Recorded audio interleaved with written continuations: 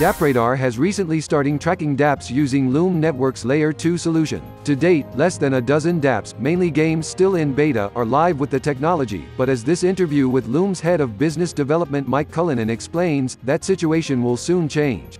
For, despite initially launching as a scaling technology for Ethereum, Loom's aggressive push to support multiple blockchains including Tron and EOS will see it becoming an interesting cross-chain facilitation option for many dApp developers.